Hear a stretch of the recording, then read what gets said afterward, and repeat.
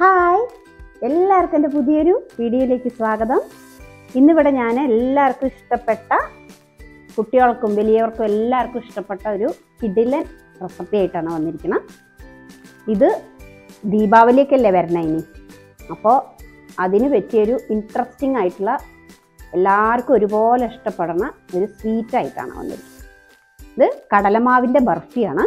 ഇത് നമുക്ക് എളുപ്പത്തിൽ വീട്ടിൽ വളരെ കുറച്ച് സാധനങ്ങൾ വെച്ചിട്ട് സിമ്പിളായിട്ട് നല്ല ടേസ്റ്റി ആയിട്ട് ഉണ്ടാക്കാൻ പറ്റണ ഒരു ബർഫിയാണ്.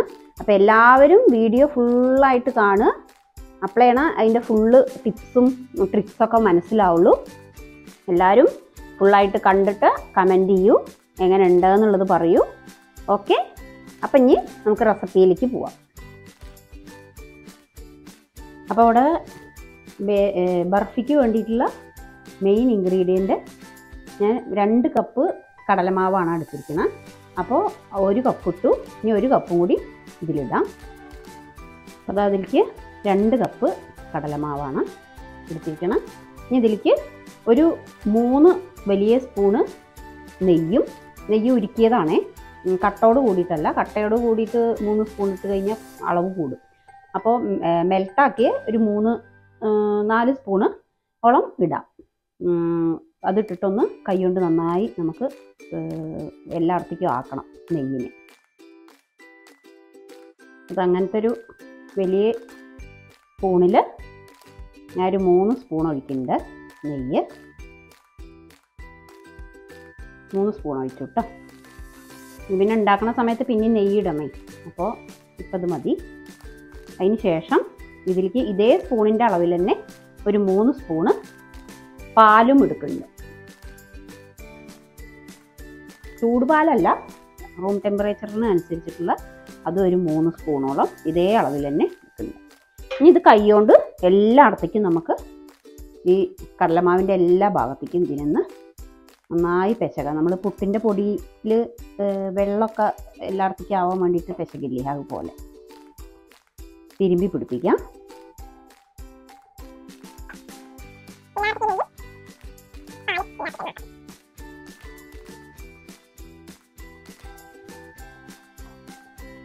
എല്ലാവരും വീഡിയോ ഒക്കെ ഫുള്ളായിട്ട് കാണൂ. ഇതിൽ ഞാൻ പഞ്ചസാര എല്ലാം ഇടുന്നത്.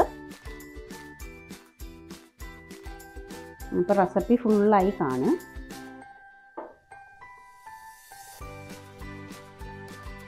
ഏറ്റവും എളുപ്പത്തിൽ ഉണ്ടാക്കാനും പറ്റും. അപ്പോൾ എല്ലായിടത്തേക്കും ആയിട്ടുണ്ട്. നേക്കുന്ന സമയത്ത് കണ്ടോ? നമ്മൾ കൈ കൊണ്ട് ഇങ്ങനെ ആക്കുമ്പോൾ നമ്മൾ പുട്ടിന് കുഴക്കണ ആ ഒരു പരിവായിരുന്നു. ഇനി ഇത് നമുക്കൊന്ന് ഒരു മിക്സിയുടെ ജാറിലേക്ക് ഒന്നിട്ടിട്ട് ജസ്റ്റ് ഒന്ന് രണ്ട് പ്രാവശ്യം ജസ്റ്റ് ഒന്ന് മിക്സിയിലിട്ടിട്ട് ഒന്ന് അടിക്കാം എന്താ വെച്ചാൽ ഈ കട്ടകളുണ്ടല്ലോ അല്ലെങ്കിൽ നമ്മൾ ഇങ്ങനെ ഇത് കടായിലിട്ടിട്ട് ഇളക്കാൻ തുടങ്ങുമ്പോൾ ഇതൊക്കെ ഈ കട്ടകളൊന്നും ഉടയില്ല അപ്പോൾ അതൊന്ന് ആ തരി പോകാൻ വേണ്ടിയിട്ട് ജസ്റ്റ് ഒരു മിക്സിയിലിട്ടിട്ട് ഒരു രണ്ട് പ്രാവശ്യം കറക്കിയെടുക്കാം അപ്പോൾ അത് ഒന്ന് മിക്സിയിലേക്ക് ഇടുന്നുണ്ടേ.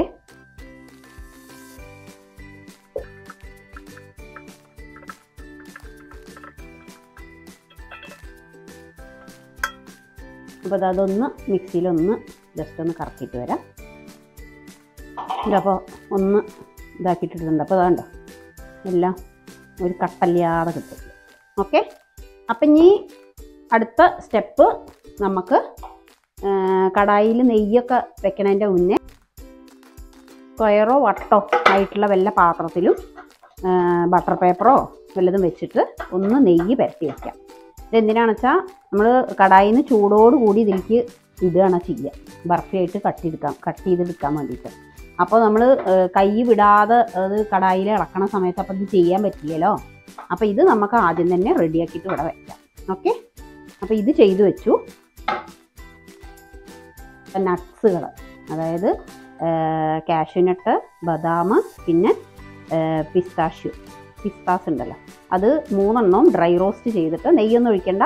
ജസ്റ്റ് ഒന്ന് ചൂടാക്കിയിട്ട് ഒന്ന് ഇടിക്കല്ലോണ്ടൊന്ന് ഇടിച്ചു വെച്ചതാണേ. നന്നായി പൊടിക്കണ്ട. ഇതും ഇതിൽ ഇടാനുള്ളതാണ് കേട്ടോ ലാസ്റ്റ് ഇതിന്റെ മുകളിൽ നമ്മൾ ഗാർണിഷ് ചെയ്യാൻ വേണ്ടിയിട്ട് ഇടാനുള്ളത്. അപ്പോൾ ഇതും റെഡിയാക്കി വെക്കുക. ഇതൊക്കെ ഇങ്ങനത്തെയൊക്കെ പണികൾ റെഡിയാക്കി വെച്ചതിന് ശേഷം മാത്രം കടായിൽ നെയ്യ് ഒഴിച്ചിട്ട് ബാക്കി പരിപാടികൾക്ക് കിടക്കുക ഓക്കെ? അപ്പോൾ ഇത് റെഡിയാക്കി വെച്ചിട്ടുണ്ട്. അപ്പോൾ ഇനി നമുക്ക് ഗ്യാസിൽ കടായി വയ്ക്കാം അപ്പോൾ അതവിടെ അടിക്കട്ടിയുള്ള നല്ല അടി പിടിക്കാത്ത വിധത്തിലുള്ള കടായി. നോൺ സ്റ്റിക്കോ ഏതായാലും പ്രശ്നമില്ല. അടി പിടിക്കരുത്. അങ്ങനത്തെ ഒരു കടായി വെച്ചിട്ടുണ്ട്. അതിലേക്ക് ഞാൻ അര കപ്പ് നെയ്യ്. ഇത് ഞാൻ വീട്ടിലുണ്ടാക്കിയ നെയ്യാണ് കേട്ടോ.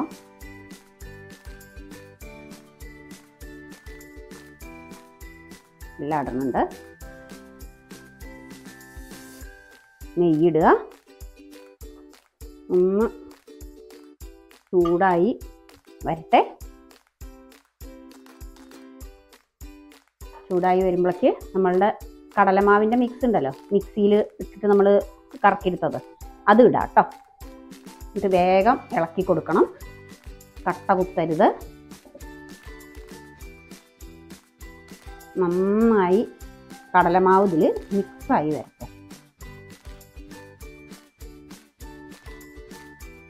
ഒന്ന് നന്നായിട്ട് ഇളക്കിയെടുക്കുക. ഇതിന്റെ കടലമാവിന്റെ ഒരു പച്ചമണം ഉണ്ടല്ലോ. അത് പോണ വരെ ഒന്ന് നന്നായി ഇളക്കിയെടുക്കുക. പിന്നെ നെയ്യ് എല്ലാ ഭാഗത്തേക്കും പിടിക്കും വേണം.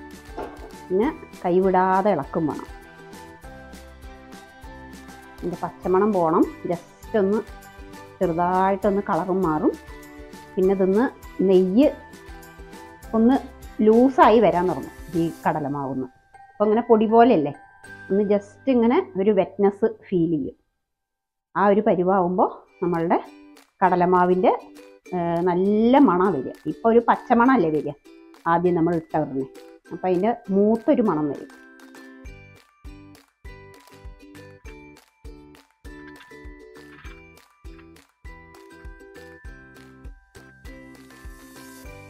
അപ്പോൾ ദാ ഈ കളറായി പിന്നെ നമ്മൾ ഒഴിച്ച ഗീ ഉണ്ടല്ലോ നെയ്യ് അതൊക്കെ അതൊന്ന് കണ്ടോ? റിലീസായി വന്നു. പിന്നെ നമ്മൾ ഇട്ട കടലമാവിന്റെ കളറല്ല കണ്ടോ? ഒരു ഗോൾഡൻ ബ്രൗൺ പോലെ നല്ലോണം മൂപ്പിക്കരുത്. അപ്പോൾ കരിഞ്ഞൊരു മണാവും. ഇനി ഇതിലേക്ക് കുറേശ്ശെ ഇട്ട് ഏഹ്, ഒരു കാൽ കപ്പ് പാലാണ് അത് കുറേശ്ശെ ഇട്ട്. ആദ്യം രണ്ട് സ്പൂൺ ഒഴിച്ചു. വലിയ സ്പൂണ്. കാൽ കപ്പാണ് ഒഴിക്കേണ്ടത്. പക്ഷെ ഒന്നിച്ചിട്ട് ഒഴിക്കരുത്. മെല്ലെ മെല്ലെ ഇട്ട് അത് അബ്സോർബ് ആവണ രീതിയിൽ കുറേശ്ശെ ഇട്ട് ഇടുക. ഇനി പിന്നെയും ഒരു വലിയ സ്പൂണിൽ രണ്ട് സ്പൂണാണേ.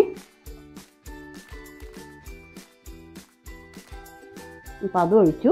അപ്പം നന്നായി മൂത്ത മണം വന്നു കേട്ടോ ഈ സമയത്ത് നമുക്ക് നമ്മുടെ പഞ്ചസാരയെല്ലാം പഞ്ചസാരയല്ല ചേർക്കണ പറഞ്ഞില്ലേ? അത് വേഗത്തിൽ നമുക്ക് ഇതിലേക്ക് ഇടാം. എന്താണ്?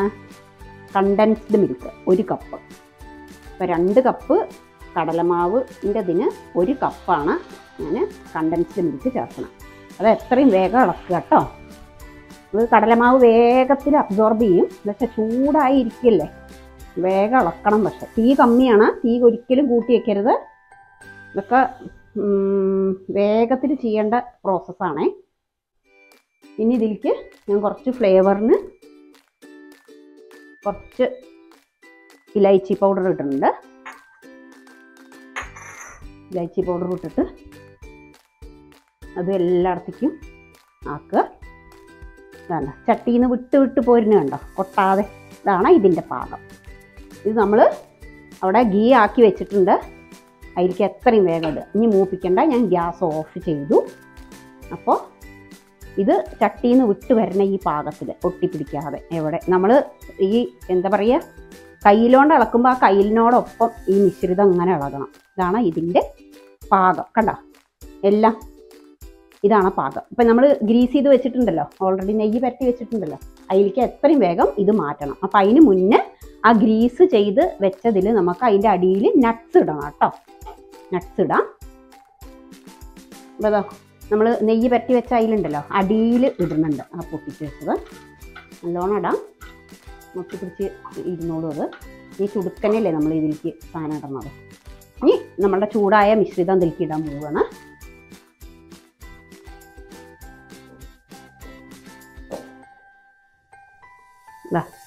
ഇതിങ്ങനെ ജസ്റ്റ് ഒന്ന് ഊറ്റി കൊടുത്താൽ അങ്ങോട്ട് പോരും കേട്ടോ അതിന് ശേഷം കടായിന്നെല്ലാം കൂടി ഇട്ട ശേഷം ഒന്ന് ലെവൽ ചെയ്യാം. വേഗം ചൂടോട് കൂടിയിട്ട് തന്നെ ലെവൽ ചെയ്യാം.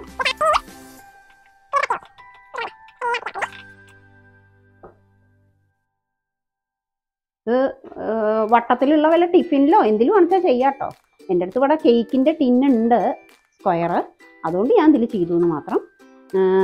നിങ്ങൾക്ക് പ്ലേറ്റിൽ നമ്മൾ സ്റ്റീലിന്റെ പ്ലേറ്റൊക്കെ ഉണ്ടല്ലോ. സ്റ്റീലിന്റെ പ്ലേറ്റ് പിന്നെ ടിഫിൻ ബോക്സ് സ്റ്റീലിന്റെ അതൊക്കെ ചെയ്യാം. ഒരു കപ്പോ? അപ്പോൾ ഞാനിത് രണ്ട് കപ്പിലാണ് ചെയ്തത്. രണ്ട് കപ്പ് കടലമാവിലാണ് ചെയ്തത്. ലെവൽ ചെയ്യണം കേട്ടോ. അല്ലെങ്കിൽ ഓരോ അളവാകും ഓരോ ഭാഗം. ലെവൽ ചെയ്യുക ഇത് ആറിയതിന് ശേഷം നമ്മൾ ഇതിനെ ഷേപ്പ് ചെയ്തിട്ട് ബർഫിയുടെ ഷേപ്പ് ഉണ്ടല്ലോ സ്ക്വയർ സ്ക്വയർ അങ്ങനെ ആക്കിയിട്ട് എടുക്കും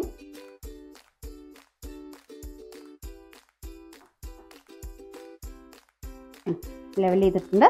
ഇനി കത്തി കൊണ്ട് നമുക്ക് ഒന്ന് ചൂടാറിയതിന് ശേഷം ഇപ്പം നമ്മൾ കത്തി കൊണ്ട് ഇതായി കഴിഞ്ഞാൽ കത്തിയിൽ പോരിച്ചിട്ടാണ്. അപ്പോൾ ഇത് ഇവിടെ ആറാൻ വേണ്ടിയിട്ട് ഇരിക്കട്ടെ ഓക്കെ വേണച്ച മുകളിലും കുറച്ച് ഡ്രൈ ഫ്രൂട്ട്സ് ഇടാം അതുകൊണ്ട് പ്രശ്നമൊന്നുമില്ല. ഇതിൽ ഒട്ടി കിടന്നോളൂ. ചൂടോട് കൂടി ഇടുമ്പോഴേ ഇതിൽ ഒട്ടിക്കോളൂ നമ്മൾ അത് ഉൾട്ടേക്കുമ്പോൾ ആ പുറത്ത് നമ്മൾ ഓൾറെഡി ഇട്ടിട്ടുണ്ടാവില്ല. അതും ഒട്ടിയിട്ടുണ്ടാവും. ചൂടോട് കൂടി ഇതുകൊണ്ട് ഇതിലൂടാം ഡ്രൈ ഫ്രൂട്ട്സ് ഒക്കെ കുറച്ച് ലാവിഷായിട്ട് ഇട്ടോളൂ. പിന്നെ ആറിയായിട്ട് ഇപ്പം കുറച്ച് ചൂടാറിയിട്ടുണ്ട്. ആ സമയത്ത് നമുക്കിതൊന്ന് വരഞ്ഞു കൊടുക്കാം കേട്ടോ. നല്ല ചൂടോട് കൂടിയിട്ട് നമ്മൾ വരഞ്ഞു കഴിഞ്ഞാൽ നമ്മുടെ കത്തിയിലൊക്കെ അത് പിടിക്കാനുള്ള ചാൻസ് ഉണ്ട്.